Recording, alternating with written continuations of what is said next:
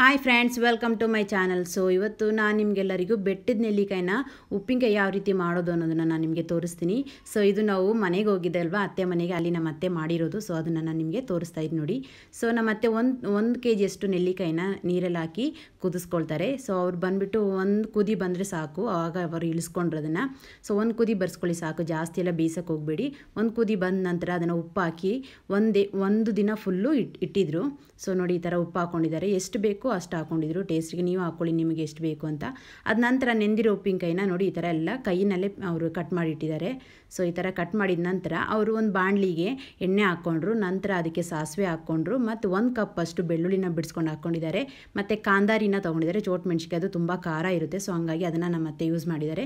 ಮತ್ತು ಒಂದು ಕಪ್ ಅಷ್ಟು ಕರ್ಬೇವಿನ ಸೊಪ್ಪು. ಸೊ ಇದನ್ನೆಲ್ಲನೂ ನೀಟಾಗಿ ಅವರು ಎಣ್ಣೆಯಲ್ಲಿ ಚೆನ್ನಾಗಿ ಫ್ರೈ ಮಾಡಿದರು. ಫ್ರೈ ಮಾಡಿದ ನಂತರ ಅವರು ಅದಕ್ಕೆ ನೀರು ಹಾಕ್ಕೊಳ್ತಾ ಇದ್ದಾರೆ. ನೀರು ಹಾಕ್ಕೊಂಡವರು ಅದಕ್ಕೆ ಉಪ್ಪು ಕೂಡ ಹಾಕ್ಕೊಂಡಿದ್ರು ಸೊ ಸ್ವಲ್ಪ ನೀರು ಬಿಸಿ ಆದ ನಂತರ ಅದಕ್ಕೆ ಪೀಸ್ ಮಾಡಿರುವಂಥ ಬೆಟ್ಟ ನೆಲ್ಲಿಕೆ ಎಲ್ಲನೂ ಅದಕ್ಕೆ ಹಾಕ್ಕೊಳ್ತಾ ಇದ್ದಾರೆ. ಸೊ ಎಲ್ಲನೂ ಹಾಕ್ಕೊಂಡು ಈ ಥರ ನೀಟಾಗಿ ಮಿಕ್ಸ್ ಮಾಡೋಣ.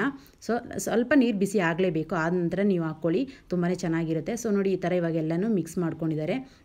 ಸೊ ಈ ಥರ ಎಲ್ಲನೂ ಕಂಪ್ಲೀಟಾಗಿ ಅದಕ್ಕೆ ನೆಲ್ಲಿಕಾಯಿಗೆ ಮಿಕ್ಸ್ ಆಗೋ ಥರ ಎಲ್ಲನೂ ಮಿಕ್ಸ್ ಮಾಡೋಣ. ತುಂಬಾ ಚೆನ್ನಾಗಿರುತ್ತೆ ಇದು. ನೀವು ಯಾವಾಗ ಬೇಕಾದರೂ ನೀವು ಅದನ್ನು ಇಟ್ಕೊಂಡು ಫ್ರಿಜ್ಜಲ್ಲಿ ಸ್ಟೋರ್ ಮಾಡಿಕೊಂಡು ಅನ್ನ, ಸಾಂಬಾರು ಜೊತೆ ಎಲ್ಲ ನಂಚ್ಕೊಂಡು ತಿನ್ಬೋದು. ತುಂಬಾ ಒಳ್ಳೆಯದು ಸೊ ನಮ್ಮ ಕೂದಲಿಗೆ ಎಲ್ಲದಕ್ಕೂ ಇದು ತುಂಬಾ ಒಳ್ಳೆಯದು ಇದನ್ನು ತಿನ್ನೋದು ಕಾರಣ. ಸೊ ಇದನ್ನು ಮಾಡಿ ನೋಡಿ. ಎಲ್ಲರೂ ತುಂಬ ಚೆನ್ನಾಗಿರುತ್ತೆ. ಇದು ಬಂದುಬಿಟ್ಟು ಕೇರಳ ಸ್ಟೈಲು ಸೊ ನೋಡಿ ಇವಾಗ ಇದನ್ನು ಕಂಪ್ಲೀಟಾಗಿ ಈ ಥರ ಮಾಡಿದರು. ಸೊ ಇವಾಗ ಸ್ಟೌವಿಂದ ಅದನ್ನು ನಮ್ಮ ಮತ್ತೆ ಒಂದು ಸೈಡ್ಗೆ ಇಳಿಸ್ಕೊಂಡಿದ್ದಾರೆ.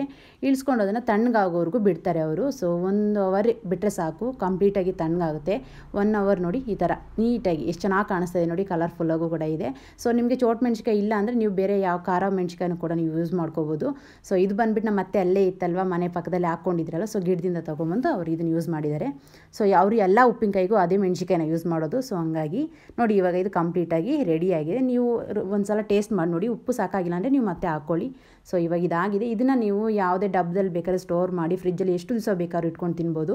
ತುಂಬಾ ಒಳ್ಳೆಯದು ಆರೋಗ್ಯಕ್ಕೆ ಸೊ ಇದನ್ನು ಎಲ್ಲರೂ ಒಂದು ಸಲ ಟ್ರೈ ಮಾಡಿ ನೋಡಿ. ನಿಮಗೆಲ್ಲರಿಗೂ ಖಂಡಿತ ಇಷ್ಟ ಆಗುತ್ತೆ. ಸೊ ಮತ್ತೆ ಸಿಗ್ತೀನಿ ಫ್ರೆಂಡ್ಸ್ ನೆಕ್ಸ್ಟ್